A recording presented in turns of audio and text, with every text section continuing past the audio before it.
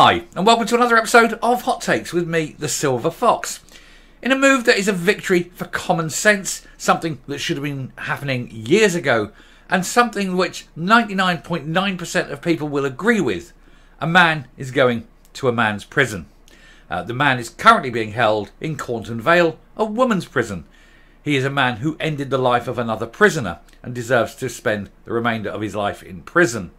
Unfortunately, he will probably be let out at some point. But of course, he is very, very scared about going to this man's prison, which is why he pretended to be a woman in the first place, so that he could do his time in a woman's jail, because he's a coward.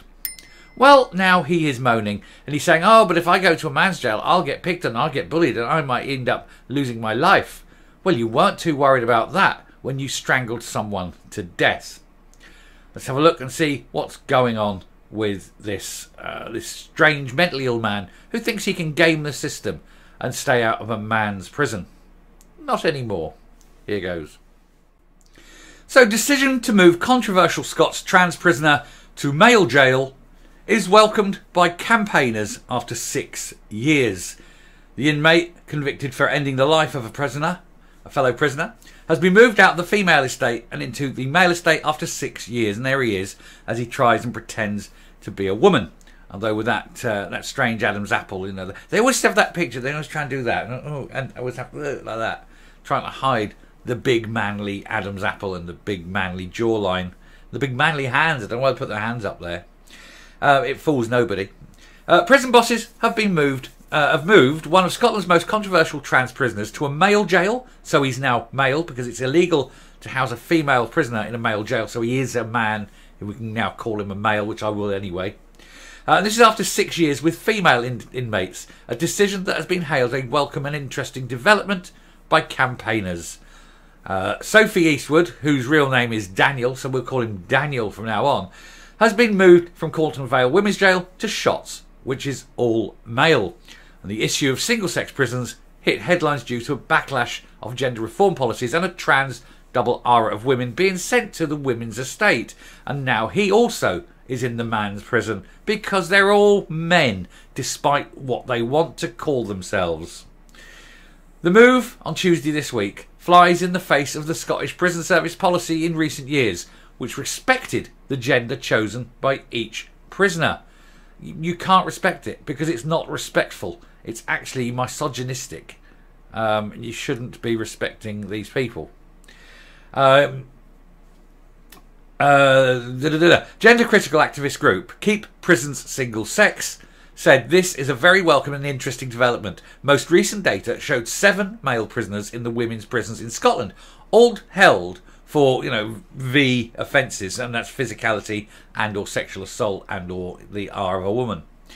Does Eastwood's transfer indicate policy change is coming? Is the question they're asking.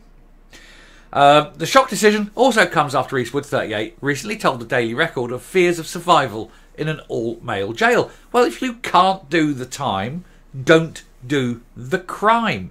You cannot sit there and claim that you are worried about your life when you are someone who did not care about someone else's life. You uh, ended the life of another person, another human being, and therefore you cannot be uh, treated accordingly in anything other than what you are which is scum.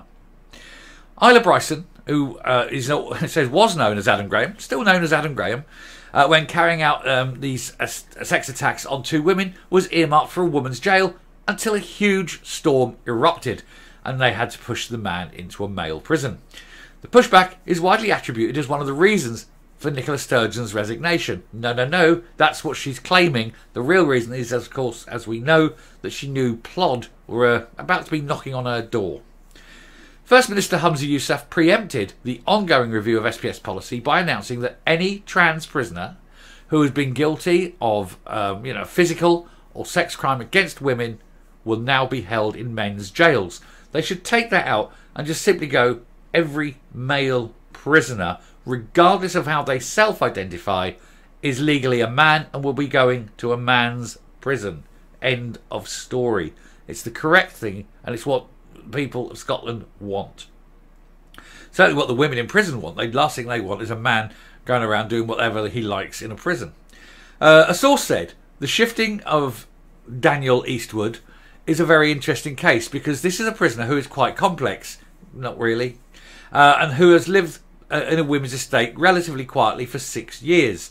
There are various other women's units in jails up and down Scotland, but he has been sent to Shotts, which is conspicuously all male. Good, it's where he needs to be.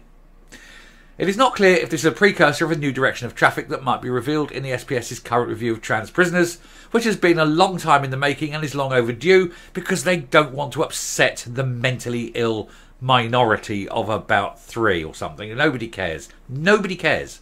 They care, but then why are they doing these crimes? Why are these people committing crimes if they're too scared to go to prison, into a man's prison? Speaking to the Daily Record in February this year, Eastwood said, "I was treated. I'm sorry, I was threatened by other prisoners in the male estate when I started to transition. No, what you mean was you were treated, and so you decided to transition to get away from all these threats by these men. Nothing to do with you actually being a woman. You just didn't want to get beaten up because you're a sad, inadequate little shit." Uh, and when you say transition, we all know that's shorthand for I'm never going to get my cock cut off. If you truly want to transition, Let's see that go. Otherwise, you're just a mentally ill man. Um, the main threat was that I would suffer serious sexual, um, you know, physicality and attacks. Well, tough. No, don't have any. Don't, what's the problem there? You want to act like that? You get what you deserve. Uh, he said, I think the Scottish prison staff manages trans prisoners well, but it would be impossible for me to feel safe in a male prison. It was certainly not very safe for your cellmate. That's for true. Uh, Eastwood added, I have no history of uh, gender attacks, but you do. You ended the life of someone. You are a man who ended the life of another man. So you do have a history of it. Maybe not gender, but you certainly are physical, you know, physically attacking people. Uh, but the recent outcry has led to the SPS having to review every trans person in custody, and I believe I'm in the right place. No one else does and I don't think I could survive in the male estate. Well, that's tough. Let's see how long you do. I'll lay odds. Let's go week, a month, a year. Who knows? Who cares? Nobody cares. Uh, Eastwood had then been jailed for dangerous driving when he ended the life of his cellmate Paul Algie, 22, in 2004. A month before the due date for release from Dumfries Young Offenders Institution, Eastwood strangled Algie with shoelaces. Eastwood was ordered to serve a minimum 15 years at the High Court in Glasgow, but has now served 19. Still not long enough. Uh, he has been living as a woman, although he's not, since he started to transition in 2017 and said he deeply regrets his crime.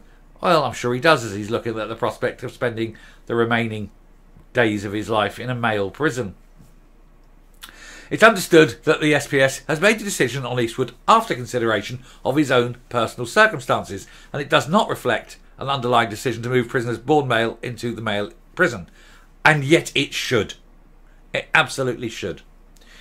Uh, a Scottish Prison Service spokesman said, We do not commit on individuals. Yes, you do. You sometimes have to because of the various reasons around it. So don't come up with that guff we do not commit uh, comment on. It's a load of crap. You do and have in the past. Uh, he said, All trans men and trans women in our care are accommodated in a way which meets the risks and needs of them as individuals. How many trans men are in men prisons? How many physical, you know, born female prisoners are in men's prisons? I'll give you the answer none. Not one. Not at all. Why? Because women who call themselves men are still women and they are treated like that. So why are we doing the complete opposite for men who pretend to be women? They should be in the men's estate, not the women's. Until you start putting women in a men's prison, you shouldn't be putting men in a woman's prison. Um, Eastwood was one of five transgender inmates held in the female prison estate. Their status became a political hot potato, very two very small potatoes, I think, and a sausage, causing a huge embarrassment to former First Minister Nicola Sturgeon as she tried to force through Scotland's gender recognition reform bill and couldn't even refer to Adam Graham as him or her, just kept saying the prisoner or describing him as an ara wouldn't say him or her. And then the number of times she tied herself up and actually did say him, uh, and every time she did, it was pointed out to her because she said no. You know, it's, it's absolutely stupid, isn't it? Uh, anyway, uh, this bill would allow people as young as 16 to self-identify without medical oversight. So 16, you're old enough to make these decisions, you're wise enough to make these decisions. And yet at 25, you can still are a child and avoid jail because you're not old enough. to understand this thing. Very weird, isn't it, in Scotland?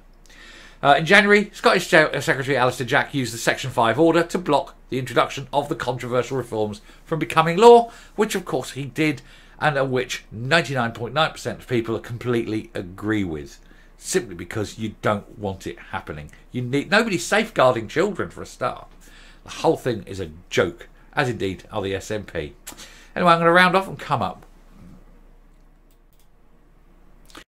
Whilst I welcome the uh, the decision to put this man back in a man's prison, I do think it shouldn't just be the case of oh, it's uh, particularly attacks on women that you know that uh, force it. It should be all trans must go to the prison of which their physical sex is, not their little mental aberration.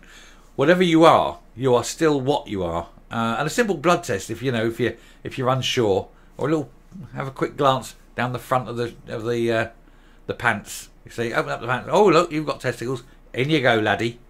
I'm a lady. No, not with that cock and balls, you're not. And in you go. And you can cut. No, you can go in. You can call yourself Susan and wear a pretty frock. Nobody cares. You will end up having an awful lot of sex, and that's fine. You wanted to do the time, obviously. That's why you did the crime. So you must enjoy it. Why else would you go to prison? It's a choice. Going to prison is actually ultimately a choice, isn't it? You can choose to commit a crime, or you can choose not to. So prisoners are in prison through the decisions they've made, the choices they've made, and they've effectively chosen to go to prison. And they cannot then be put into the prison that they would like to go to. They must be going into the prison to which they are deserving of. And all male prisoners should go to a male prison. And that's when they can learn to rue their mistakes and swear never to do it again. Anyway, I shall stop there. Thank you very much for watching. If you like what you see in here on the channel, do please hit the subscribe button, ring the bell, leave a like, leave a comment, please share the video. And until next time, stay safe, stay well, stay out of prison, and goodbye.